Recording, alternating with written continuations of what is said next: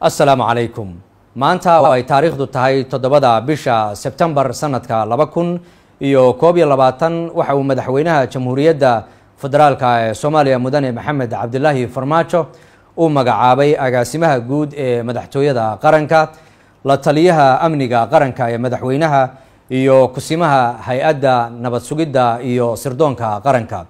Madaxweynaha jamhuuriyadda oo mudnaanta siinaya dardargelinta horumarinta iyo joogteynta howlaha baaxadda leh oo horyaala hay'adaha amniga waxa uu xeer madaxweyne ku soo saaray qodobadan soo socda.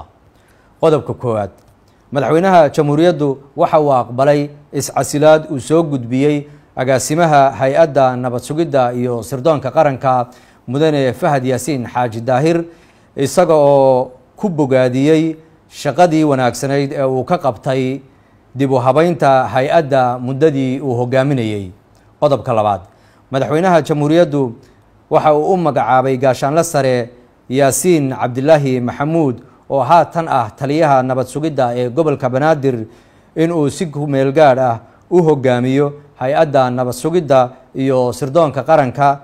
Inta laga magacaabayo taliyo cusub oo ku yimaada hab waafaqsan shuruucda iyo dastuurka kumeelgaadhka ee dalkeenna. Qodobka saddexaad.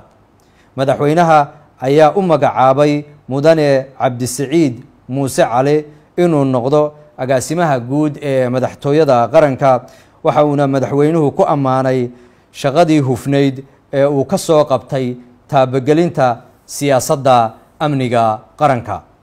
Qodobka afraad.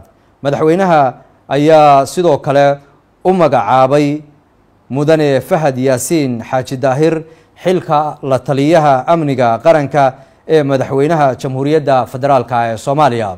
Ugu dambeyn madaxweyne maxamed cabdilaahi farmaajo wuxuu isugu yeedhayaa kulan ay yeelanayaan guddiga amniga qaranka siddeed iyo tobanka bishan sebtembar sanadka laba kun iyo koob iyo labaatan si guddiga looga horjeediyo warbixinta laga dalbaday hay'adda nabad sugidda iyo sirdoonka qaranka